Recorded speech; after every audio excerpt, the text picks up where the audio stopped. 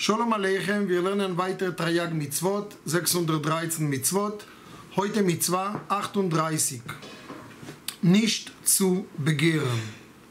Also nicht in unsere Gedanken haben eine Manipulation oder ein Trick zu nehmen etwas, was gehört jemand anders. Sein Frau, sein Partner, sein Vermögen, sein Haus und so weiter und so fort. Aber auch so, zum Beispiel bei uns in der Klasse äh, macht man so manchmal so Essenwechsel. Äh, sagen wir mal, ein Kind aus meiner Klasse wollte, was der andere Fragen dem anderen, ob er möchte, es ist erlaubt. Aber etwas tun, um ihn dazu zu überzeugen, hatte. Sie tauschen ja. Tauschen ist auch okay, aber was passiert? Du hast, es geht darum, äh, du siehst bei jemand anders, obwohl ich bin nicht sicher, ich glaube, nicht begehren dem Nächsten ist auch über die Sachen. Also wenn einer macht Handlungen, tut etwas, um seine verborgenen Gedanken, das wegzunehmen, das, was dem anderen gehört. Du kannst dem anderen fragen, möchtest du tauschen, möchtest du verkaufen? Und wenn der andere sagt, nein, Shabbat Shalom. Aber dem anderen zu manipulieren, schicken, schenken andere, schicken andere Leute, schicken einen Brief, erpressen oder wie auch immer, das ist nicht in, in Ordnung. Okay. Es ist nicht erlaubt, irgendeine Gedanken zu machen, aufkommen zu lassen, liest etwas einzuengen. Verstanden? Also nicht, nicht tun irgendeine Handlung, irgendein Trick, das zu nehmen, das was dem anderen gehört. Warum? Weil eine schlechte Gedanke ist das, zu nehmen das, was der andere will, zum Beispiel so wie Navota Israeli in dem Tanach. Er wollte die Plantage von Achav, wollte die Plantage von Navota Israeli und er hat ihn bedroht, hat ihm eingeboten andere Sachen. Zum Schluss hat er ihn auch getötet und ermordet und alles. Also diesen Gier zu haben, das, was der andere hat, seine Frau, seine Besitz und alles, macht die Welt verrückt und zum Schluss wird er ihn dazu zwingen, erpressen, ja, noch so toll, er wird ihm äh, vergewaltigen dazu, das zu machen. Und dieses Verbot ist in jedem Ort, in jeder Zeit. Und wenn er hat das getan, ist eine schlimme Sache und er zerstört Gottes Befehle. Und der, die Torah sagt hier etwas sehr interessant.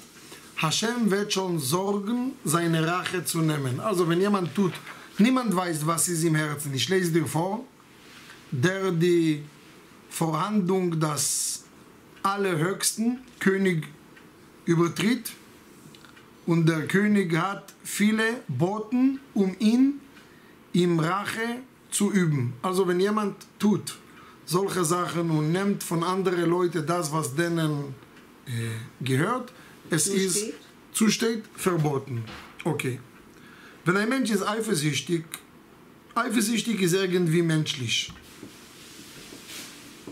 Aber wenn ein Mensch will nur die gleiche, nicht dasselbe, das zu haben, das was du hast, das ist verboten. Wenn ich sehe bei dir eine schöne Kuli und ich gehe und ich kaufe, das ist in Ordnung. Was soll man machen? Ein Mensch soll wissen, ich kann nicht das, was du hast, haben. Das ist deine. Und das ist äh, interessant. Diese Mitzvah, du sollst nicht begehren, was dem Nächsten gehört, ist auch ein Teil von Sheva Mitzvot Bnei Noach. Ja. Unter welcher Kategorie? Unter die Kategorie nicht morden und an Hashem zu glauben. Wenn du glaubst an Hashem, du weißt, was dir gehört, gehört dir. Und du wirst nicht gucken auf das, was dem anderen, das ist sein Teller, das ist meine Teller, das ist seine Sache, das ist meine Sache. Jeder guckt auf seine Sache. Und eine von den Geboten auch von Noach ist Mord und ist Blutgießen. Das ist eine von den Ergebnissen, was kann verursachen, auch Mord. Äh, auch nicht jemand manipulieren, den Partner wegzunehmen. Zum Beispiel, wenn einer sieht, dass der andere hat eine gute Frau und er will sie haben. Und er wird sagen, ja, ich will erfüllen eine Gebe Gebot, du sollst, nicht, äh, du sollst dich vermehren und fruchtbar sein. Oder das ist nicht gut, dass der Mensch alleine ist. Hier steht geschrieben in die Tora.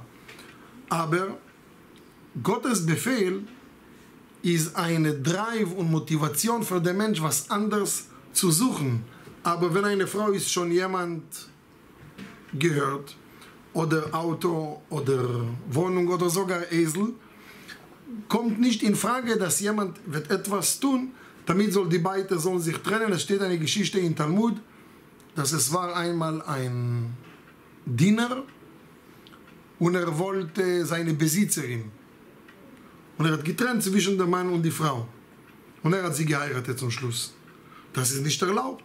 Oder ich habe auch gelesen, dass es war hier in Frankfurt im 16. Jahrhundert, glaube ich, eine Familie, sie hatte zu Hause eine sehr gute ähm, Haushälterin, so richtige Nanny, was passt auf auf die Kinder und kocht und backt und kümmert sich und zuverlässig. Und so eine Sache zu finden, ist manchmal noch schwieriger als eigene Frau zu finden.